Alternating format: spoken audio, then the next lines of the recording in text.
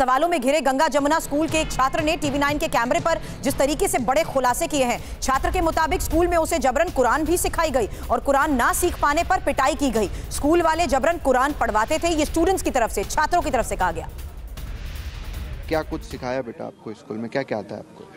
Sir prayer के पहले जन मुस्लिम पाठ होता है वो। मालिक यौमिद्दीन। दिया कना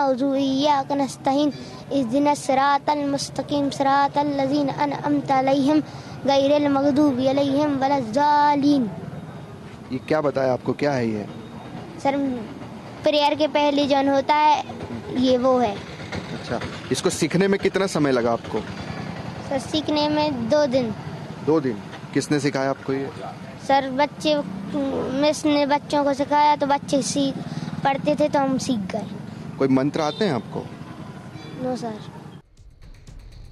शुभम हमारे सहयोगी लगातार उन बच्चों से भी बातचीत कर रहे हैं जिन्होंने बताया कि क्लासरूम की आखिर हकीकत क्या थी और कैसे प्रेयर से पहले यहाँ पर उर्दू तो सिखाई जाती थी आयात पर आयातें पढ़ाई जाती थी और महत्वपूर्ण ये भी है कि धर्मांतरण को लेकर ऐसे कई मामले सामने आने के बाद भी स्कूल में इन्वेस्टिगेशन की गई है।